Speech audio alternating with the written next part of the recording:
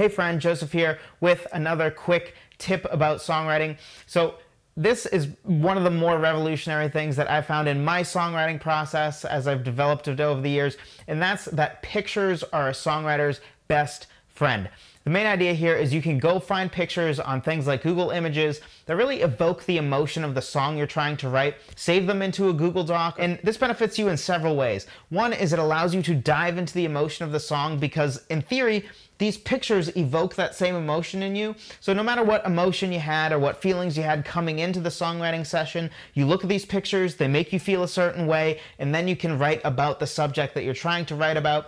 And it's really efficient, right? You don't have to watch a whole TV show. You don't have to listen to a four minute song. You just look at a picture, boom. Now you're emotionally descending into the place where you need to be in order to write the song effectively. So go to Google, find some pictures, search something like, you know, ocean art if you're writing a song that revolves around an ocean or something. Pick some paintings that evoke the emotions that you're looking for and save those in a Google document. Always have that up when you're working on the song.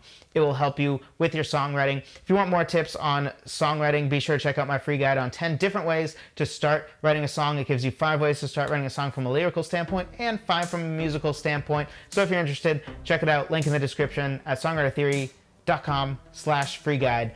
Thank you so much for watching. I hope this tip was helpful to you, and I'll talk to you in the next one.